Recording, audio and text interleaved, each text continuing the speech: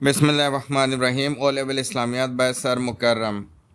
Today we are going to study the topic Treaty of sixth year of Hijrat. आज हम इसमें जो study करेंगे टॉपिक वो माहिदा है, सुलह हुदैबिया के, जिसे हम नाम से जानते हैं ट्रीटी ऑफ़ हुदैबिया को आज हम स्टडी करेंगे कि ये वाक़ क्यों पेश आया, क्यों ये माहिदा करना पड़ा और इस ट्रीटी को होने की वजूहत क्या थी holy prophet peace be upon him dreamed to visit Mecca for performing उम्र नबी मेहरबान अलैहि वसल्लम ने हिजरत के छठे साल ये ख्वाब देखा कि वो मक्का जा रहे हैं और वहाँ पे वो उम्र अदा कर रहे हैं। So he decided to start the journey towards Mecca for performing the उम्र।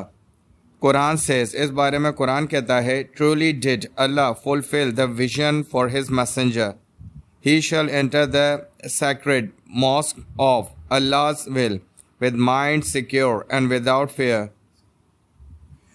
Quran कहता है कि अल्लाह ताला ने उनके दिल रोशनी से मुनवर कर दिए रहनुमाई से भर दिए जिन लोगों ने अल्लाह पर यकीन रखा और ख़ास तौर पर वो अल्लाह के पैगंबर थे। अल्लाह ताला ने उनके दिलों को नूर से भर दिया।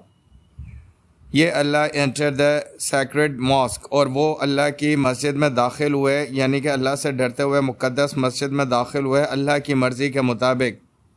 With mind secure and without fear और उनके जहनों पर कोई बोझ ना था, और अल्लाह ताला ने उनके दिलों से डर निकाल दिया था यानी कि अल्लाह ताला ने इस बात की तस्दीक कर दी कि नबी महरबान सल्लल्लाहु अलैहि वसल्लम का यह सफ़र अल्लाह ताला की मर्ज़ी की तरफ़ से था, और नबी सल्लल्लाहु अलैहि वसल्लम ये उम्र अदा करना अल्लाह ताला की मर्ज़ी और अल्लाह ताला की इजाज़त के बाद गए थे Holy Prophet, peace be upon him, was accompanied with 1400 followers. इस सफ़र के ऊपर नबी महरबान सल्लल्लाहु अलैहि वसल्लम के साथ उनके चौदह सौ जानसार, उनके अहबाब, उनके मानने वाले आपके साथ इस सफ़र में शरीक हुए। Quraish decided in company to stop not allowed holy prophet peace be upon him to perform उम्र कुरैश के लोगों ने आपस में बैठकर यह तय किया कि इस दफ़ा मोहम्मद सल्लल्लाहु अलैहि वसल्लम को उम्र नहीं करने दिया जाएगा। और उनको मक्का में दाखिल होने नहीं दिया जाएगा। ये वो चीज़ थी जिसकी वजह बनी इस माहदे को होने की। जब कुरेश के सरदारों ने पक्का फैसला कर लिया कि इस बार नबी महरबान सल्लल्लाहु अलैहि वसल्लम को उम्र नहीं करने दिया जाएगा। Holy prophet peace be upon was stopped at Hudaybiyah three miles from Mecca नबी महरबान वसल्लम को रोक दिया गया। तीन मील के फासले पर मक्का से और उस जगह का नाम हुदेबिया था। इस जगह ही की वजह से यहाँ पे जो माहदा तय पाया, उसका नाम ट्रीटी ऑफ़ हदैबिया या हम हदैबिया का सुलानामा कहते हैं। Holy prophet peace be upon him send to man for dialogue but both were killed by Quraish नबी महरबान वसल्लम ने हदैबिया के मकाम से अपने दो मैसेंजर भेजे ताकि बातचीत आगे बढ़ सके डायलॉग हो सके। लेकिन दोनों ही असाब को कुरेश वालों ने कत्ल कर दिया, उन्हें मार दिया। Confirm the message that they wouldn't allow him to perform उम्र और इनके कत्ल से ये बात, उनकी शहादत से ये बात वाज हो गई कि वो किसी भी हाल में नबी मेहरबान अलैहि वसल्लम को उम्र नहीं करने देंगे। फाइनली हज़रत उस्मान रज़ी Allah was sent to dialogue but rumour circulated that he was also killed और बिला आखिर नबी मेहरबान वसल्लम ने हज़रत उस्मान को भी यह पैगाम दे के भेजा कि उनसे डायलॉग करें। और फिर यह खबर तेज़ी से फैलना शुरू हो गई कि शायद हज़रत उस्मान को भी शहीद कर दिया गया है, कत्ल कर दिया गया है।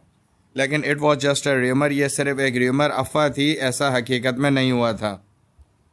Holy prophet peace be upon him collected his followers at oasis of Rizwan Allah ताला के नबी ने अपने तमाम मानने वालों को जगह रिजवान की मौके पर, यानी उस जगह जिसका नाम रिजवान था, वहाँ पे ओएसिस पे बुलाया ओएसिस का मतलब है नखलिस्तान, एक ऐसा रेगिस्तानी हिस्सा जहाँ पे पानी का शुबा या पानी का शक पैदा होता है Holy Prophet, peace be upon him, took oath, they would lay down their lives in the names of Allah. This oath is known as Beth Rizwan. अल्लाह के नबी ने तमाम मानने वालों से बेहतर रिजवान पर अहद लिया। इस अहद को बेहतर रिजवान के नाम से जाना जाता है। यह बैत यह था कि अल्लाह के जितने भी फॉलोवर्स हैं, वो अपनी जान नजराना पेश कर देंगे नबी मेहरबान सल्लल्लाहु अलैहि वसल्लम के हुक्म के मुताबिक। और अल्लाह ताला के नबी जिस तरह फरमाएँगे, उनके फर्मा बरदारी में अपनी जान के नजराने पेश करेंगे अल्लाह ताला की रज़ा हासिल करने के लिए। Regarding this oath, Quran says Allah's good pleasure was on the believers when they swore fealty to thee under the tree. अल्लाह ताला कुरान पाक में इस माहदे के बारे में फरमाता है कि अल्लाह ताला की अच्छाई अल्लाह ताला की मेहरबानी अल्लाह ताला की रज़ा नाजिल हुई उनके मानने वालों पर जबकि वो महसूस कर रहे थे और ज़ाहिर कर रहे थे अपना ईमान अल्लाह ताला की तरफ़ उस दरख्त के नीचे, यानी माहिदा कर रहे थे अल्लाह के नबी से। He knew what was in their hearts Allah जानता है उनके दिलों में क्या था।